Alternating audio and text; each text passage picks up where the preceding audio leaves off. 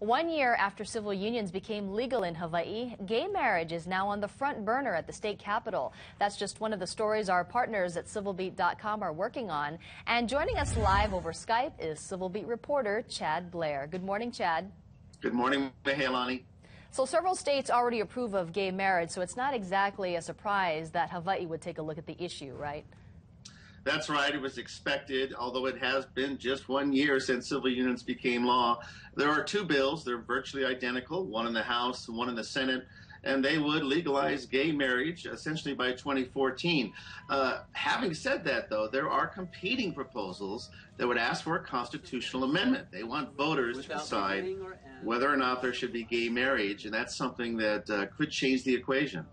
Chad, you may recall in the 90s, you know, there were some really intense protests at the state capitol on both sides of the issue.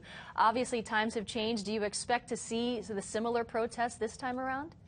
Yes, I do. There were protests for civil unions as well over the last couple of years. I can't imagine that the same groups that have opposed gay marriage as well as supported it, or marriage equality, as some say, wouldn't turn out to show their views. It's a very controversial issue, a very passionate issue. My guess is that we will have long hearings with people uh, with very good arguments on both sides. Chad, let's talk about yellow tang. And we're not talking about the orange juice drink. It's actually an aquarium fish, and uh, it's in danger, right?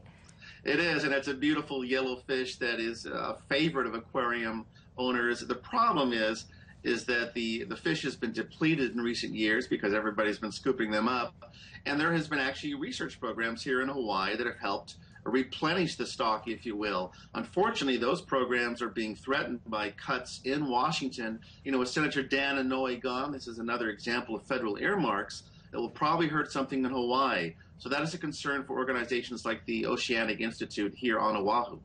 Well, it certainly is a beautiful fish, and hopefully more can be done to keep it alive. And finally, there's a bill aimed at countering the U.S. Supreme Court's Citizens United decision. What was that decision all about, and what's happening now? Well, the Citizens United decision was huge. It was just a couple of years ago. Essentially, it said businesses, corporations are just like people. They have individual rights, and therefore they can contribute money to political campaigns. And we saw that they did that last year, hundreds of millions of dollars coming in. This bill, introduced by Karl Rhoads, he's the chair of the House Judiciary, would essentially say that freedom of speech is limited to natural persons, persons like you and me, not businesses. Well, the state attorney general has issued a ruling on that, or an opinion rather, saying no, you can't do that. It's not going to have any effect on Citizens United.